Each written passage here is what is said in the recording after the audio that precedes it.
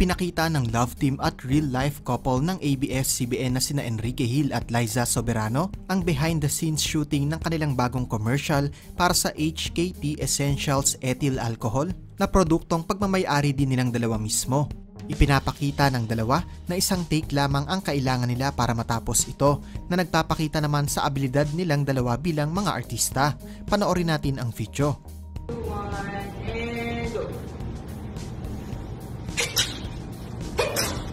Need a hand? My knight in shining armor.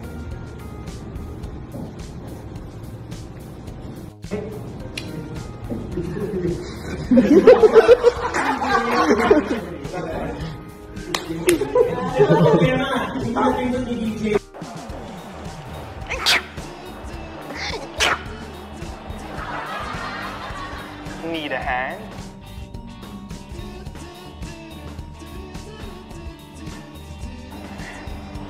My knight in shining armor.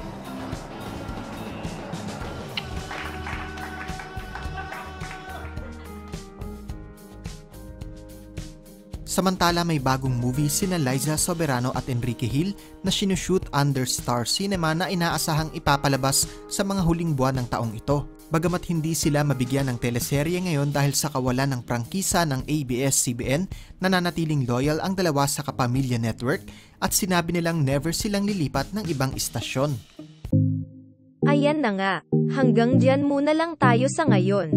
Maraming maraming salamat sa panonood. If like nyo ang videoong ito, don't forget to like, comment, share and subscribe.